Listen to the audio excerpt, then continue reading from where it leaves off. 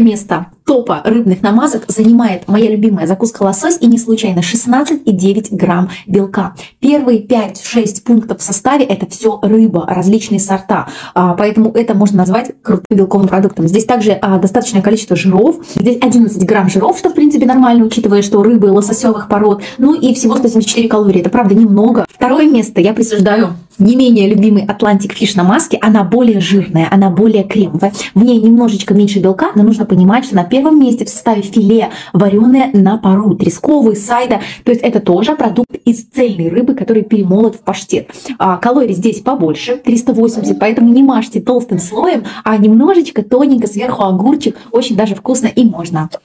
Всем приятного! А вот этих товарищей я не рекомендую, потому что это сплошные жиры без, скажем так, белковой поддержки. Не имеет смысла. Калорий получишь, а пользы маловато. Для тощих, видим, рекомендую.